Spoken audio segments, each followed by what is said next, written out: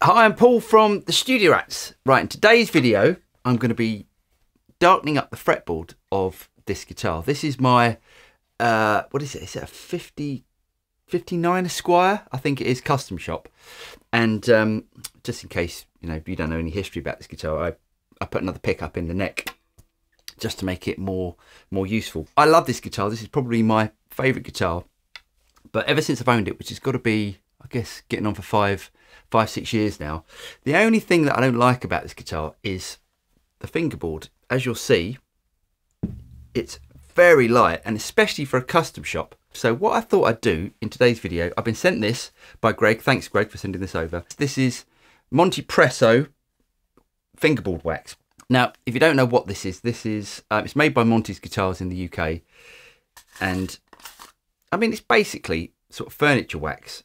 But the claim is that it will turn the look of your guitar into a much more vintage looking guitar. So a guitar with like a traditional sort of Brazilian rosewood sort of fingerboard on it. Now, even though this guitar is rosewood, it does look a little bit Pau Ferro-ish, which I think by darkening it up is going to make it look so much better. So first job is to remove the strings.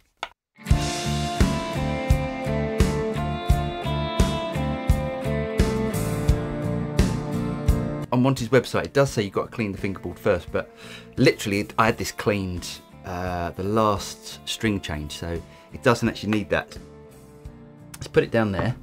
It also said to wear gloves. Now I'm guessing this is going to stain my fingers like anything. I haven't got any gloves, so we're just going to have to uh, we're just going to have to go with it. But it says to apply it generously, so let's dig in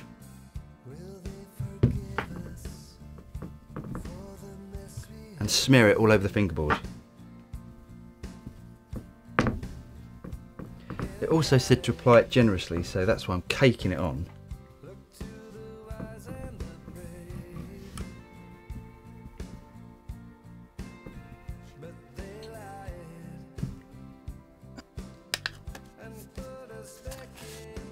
Right, so it's on, and it's pretty horrible stuff to be honest. It's all over my hands, as it said, wear some gloves. Uh, what I'm going to do, I'm going to leave this for 48 hours, as it says on the website, and we'll come back and see how it looks then. Just so you can see the difference, here's another fender, but look how much darker the wood is on this neck. And I know this is a Masterbuilt, so it's going to be the best of the wood, but that's still a custom shop, so that should have, or to me, that should have been a much darker piece of rosewood. So that's what I want it to look like. So let's see if it works. Okay, so it's about 48 hours later. I've left it a couple of days and I think it's time to remove all this gunk that is all over this fretboard. I've got to be honest, it's horrible stuff. I mean, I picked it up and I rubbed it against my arm, got it all over my arm and stuff, but it's, um, yeah, it's been sitting there for 48 hours. So let's see, let's see if it's improved the colour of the fingerboard. Let's get it off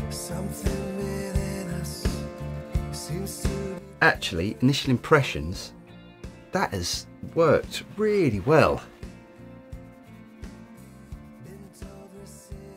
And it's really brought out the grain. I don't know if you can see it if I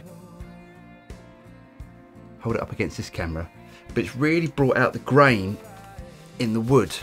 So where before, as I said, it looked a little bit like uh, Pau Ferro,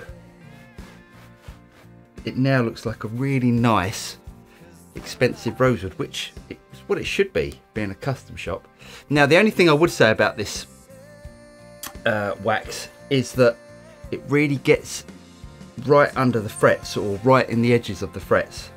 So I guess you've got to be quite vigorous with uh, sort of scraping it out with with your nail. But um, yeah, that's done a really nice job actually.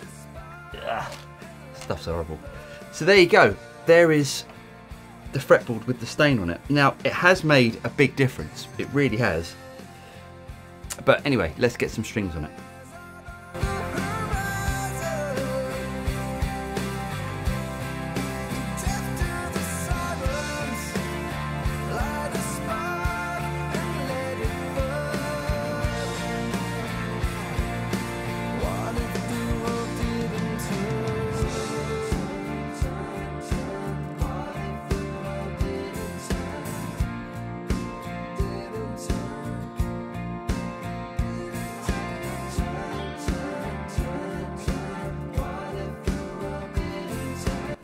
So there you go. Now let's compare it against my Strat, the one we had a look at earlier.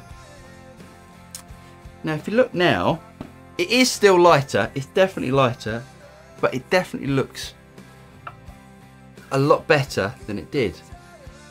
Let me know what you guys think. Is that worth doing? Now I should probably tell you that this stuff here, this Monty's Montypresso wax, is about £20 a tin. Now how much have I used up? I mean an eighth of it. So you can pretty much say that's going to last you a lifetime. So 20 quid for a lifetime of treating your fingerboards and making them look nice and making them feel nice and actually looking after them. It's probably not such a bad deal, is it? Anyway, as always, let me know what you think in the comments. I'm Paul from the Studio Rats. I really hope you guys got something out of this video. If you did get something out of it, don't forget to like and subscribe. Click on the bell button and you'll be notified of any future video that comes out from the Studio Rats. I'm Paul and I'll see you next time. Cheers.